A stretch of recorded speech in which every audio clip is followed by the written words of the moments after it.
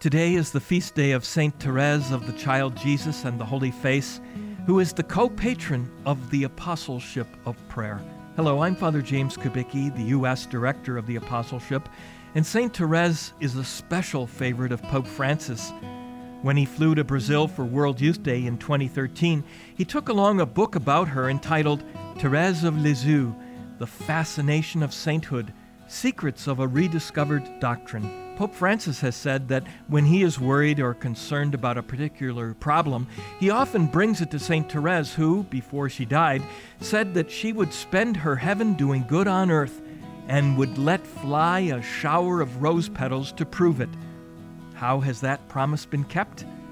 Well, in 1925, the year she was canonized, Jesuit Father Putigan began a novena to St. Therese, asking for something very important. He also asked for a sign to know whether his prayers had been heard.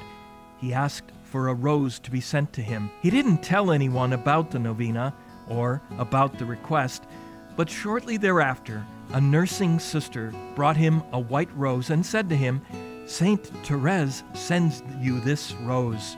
Speaking to two journalists when he was the Cardinal Archbishop of Buenos Aires, Pope Francis showed them a picture of Saint Therese and a vase with white roses in front of it.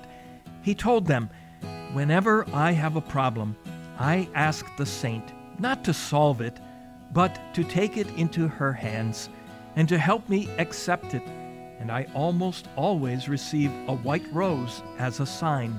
Notice, Pope Francis doesn't expect that every problem he brings to St. Therese will be solved, but he's sure that every prayer is heard and will be answered in the way that is best.